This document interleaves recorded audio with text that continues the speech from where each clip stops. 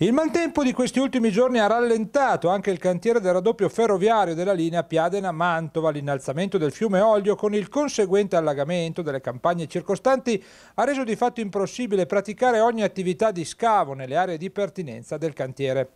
È dunque rimandata, data da destinarsi, anche la programmata bonifica bellica subacquea del tratto sotto il ponte ferroviario Il Metallo, dove verrà realizzato il nuovo manufatto e dove è stata individuata la locomotiva precipitata a causa di un bombardamento nel 1944 durante la seconda guerra mondiale. Parliamo del ponte tra Bozzolo e Marcaria.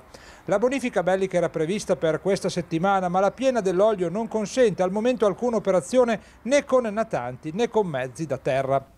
Ferme anche le attività di scavo in alcune aree come a Piadena Drizzona nella zona del canale Dugale dove è stata scoperta un'antica fornace anche per l'eccessiva presenza di fango che renderebbe vano ogni intervento.